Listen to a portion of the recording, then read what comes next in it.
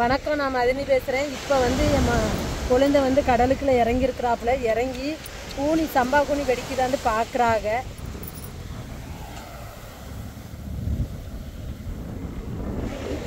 காலால் நம்ம தண்ணிக்குள்ளே இறங்கி காலால் இப்படி பின்புறமாக தான் போகணும். அப்போ தான் அந்த சம்பா குனி வந்து காலில் வெடிக்கிறது நம்மளுக்கு தெரியும்.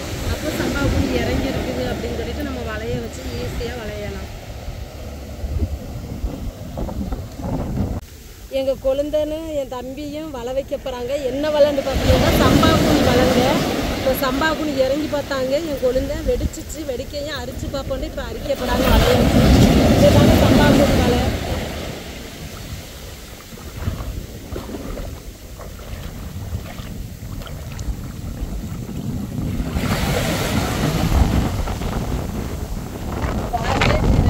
காலுக்குள்ள வச்சு மேலே ஒரு கயிறை வச்சு அங்குக்கு ஒரு கயிறு இங்குக்கு கயிறை வச்சு அப்படியே அந்த வலையை இழுத்துட்டு போய் சம்பாக்குனி ஏறு இப்போ சம்பாக்குனி கரையை இழுத்துட்டு வந்ததுக்கப்புறம் பார்ப்போம்.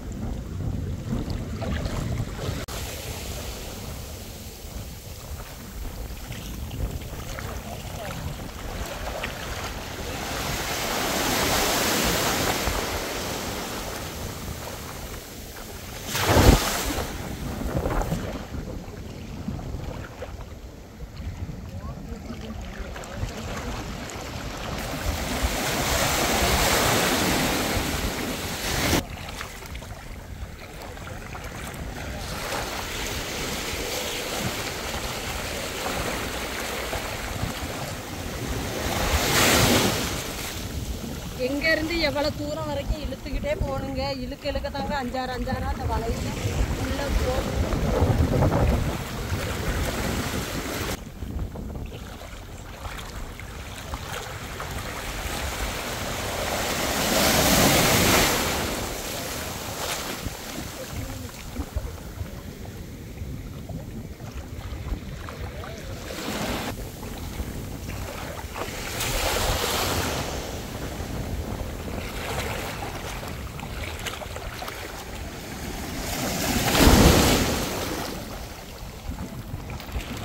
பாருங்க எங்க தூரம் வந்தாச்சு?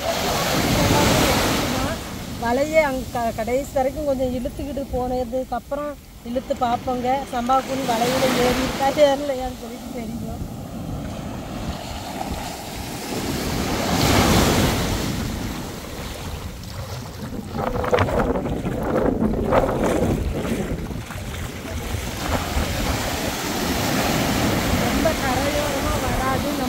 நம்ம தண்ணிக்குள்ளே இறங்கி போய் அரைச்சிக்கிட்டே போகணுங்க காலு தான் உழைஞ்சி இதுக்கு இழுத்துக்கிட்டே போகலாம்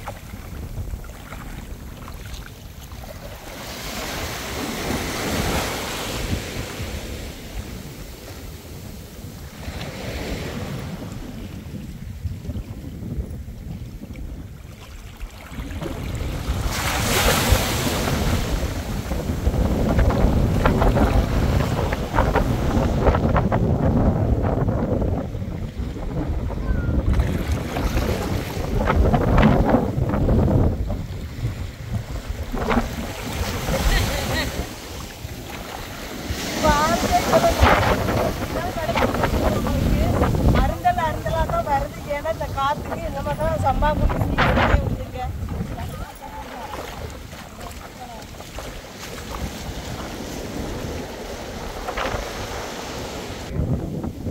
இப்போ பாருங்க எங்கேருந்து எவ்வளோ தூரம் அடிச்சிட்டு வந்தாச்சு கொஞ்சம் காலம் தாங்க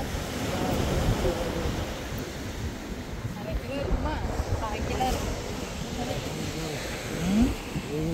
ஒரு கிலோ இருக்குமா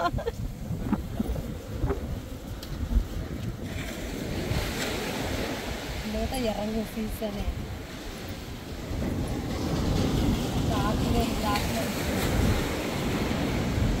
எப்படி பாருங்க சம்பா குனிய இதுதாங்க சம்பா குனி இந்த காத்துக்கு வந்து இந்த மாதிரி தாங்க இறங்கும் சீசனு இந்த மாதிரி தான் இருக்குது இங்கே பாருங்க சம்பாகுனி பிடிச்சாச்சு எப்படி வெடிக்குதுன்னு பாருங்க. நம்ம டேஸ்ட்டாக இருக்குங்க. சம்பாகுனி துவையல் அரைச்சி சம்பல் வச்சு சாப்பிட்டா அப்படி இருக்கும். அதேமாரி குழம்பும் வச்சு சாப்பிடலாம் இந்த சம்பாகுனியில். அவ்வளோ ஒரு டேஸ்ட்டாக இருக்குங்க. எப்படி இருக்குன்னு பாருங்க. செம்மையாக இருக்குதுல்ல. இதை வந்து நம்ம காய போடணும். நல்லா காய போட்டால் சூப்பராக ஆகிடும் காய போட்டு தான் சம்பல் செய்ய முடியும். அதெல்லாம்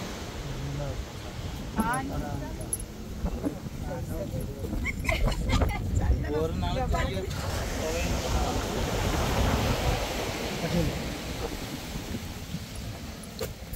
இதில் உள்ள பாசி இதெல்லாம் பாசி சுப்பி தாங்க இதில் அதிகமாக வரும். நம்ம காயை போட்டு எடுத்துக்கிறலாம். உடச்சி விட்டா போதும். தண்ணி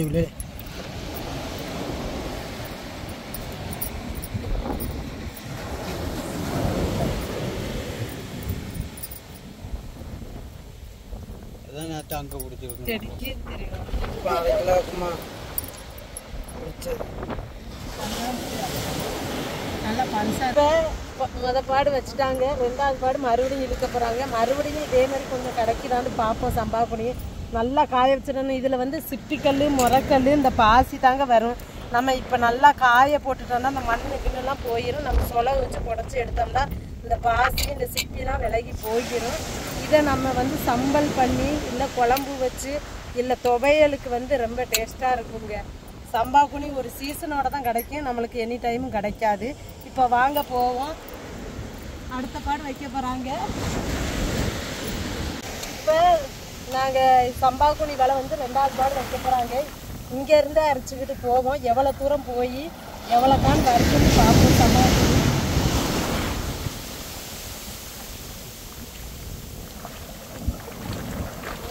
முடிச்சிருக்கோம் என்ன வேணும் பாருங்க அந்த வலையை இழுத்துட்டு வரும்போது அந்த மார்சா எப்படி வருதுன்னு பாருங்க கடல் அழகி எப்படி வருதுன்னு பாருங்க. அந்த அடி சவுண்டை பாருங்க கேட்க சங்கீதம் மாதிரியே இருக்கும். இப்போ பாருங்க நம்ம விசைப்படகுல இழுப்பாங்க பாருங்க மடி போட்டு. அது மாதிரியே இப்போ இழுத்துக்கிட்டே போகிறாங்க லான்ச்லேயும் இப்படி தாங்க போட்டு இழுத்துக்கிட்டு வருவாங்க. அது மாதிரி தான் இழுத்துட்டு போனாங்க அந்த சம்பா கூனி வளைக்கல வந்து அந்த கூனி உள்ளே இறங்குங்க. Oh,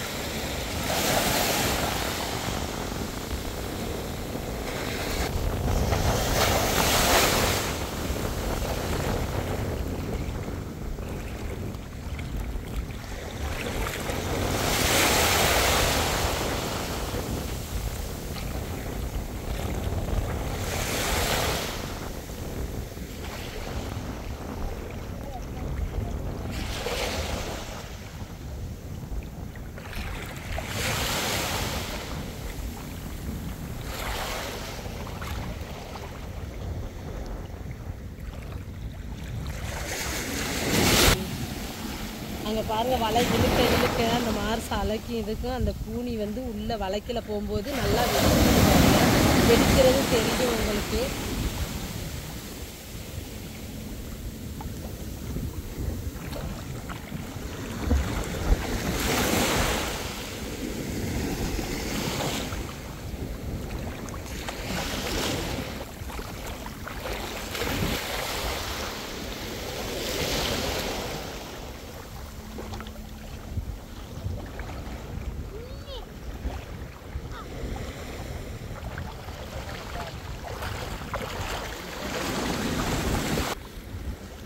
பாருங்க அங்கேருந்து இது வரைக்கும் அறுத்துட்டு வந்தாச்சு கூனி இருக்குது கரையை வரக்கும் பார்ப்போம். இதே மாதிரி இருக்குதா எப்படின்னு பார்ப்போம். கூனி கரைச்சிருக்குதான்னு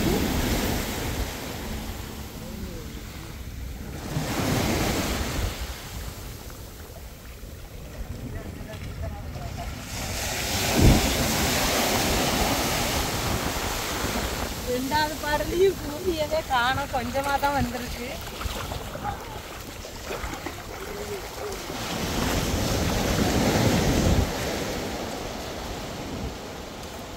கொஞ்ச போட்டு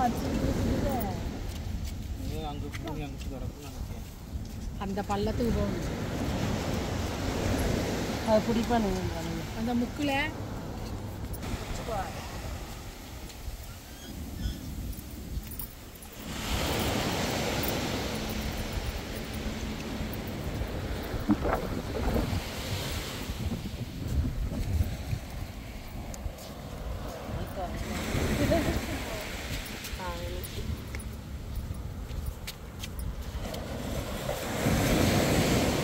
உள்ளே கிடக்கும்ல.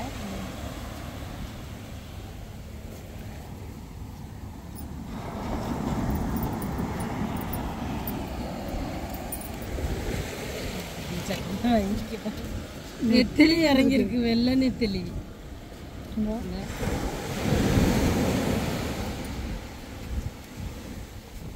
பாருங்க இப்ப ரெண்டாவது படல கிடைச்சது இதுதான் கிடைச்சிருக்குது நம்மளுக்கு தேடிட்டு பா எப்படி வெடிக்கிறாங்க தடு தடு தடு தடு தடு.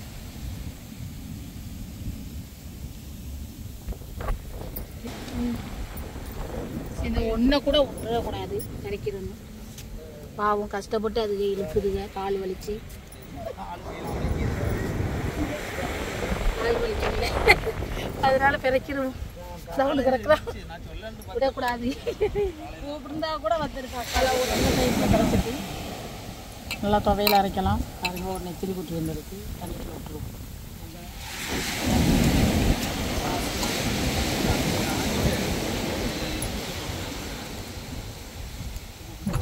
பாருங்க ரெண்டாவது பாடலையும் ஃபர்ஸ்ட் பாடலையும் கிடச்ச கூலி ஒரு கிலோட்ட இருக்கும் நம்ம.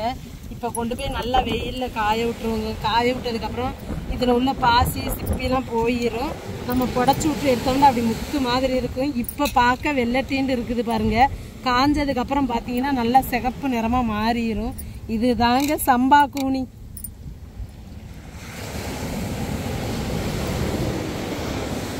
இந்த வீடியோ உங்களுக்கு பிடிச்சிருந்தா லைக் பண்ணுங்கள் ஷேர் பண்ணுங்கள் கமெண்ட் பண்ணுங்கள் எங்களுக்கு ஆதரவு கொடுத்து சப்போர்ட் பண்ணுங்கள் ரொம்ப மனம் பறந்த நன்றி.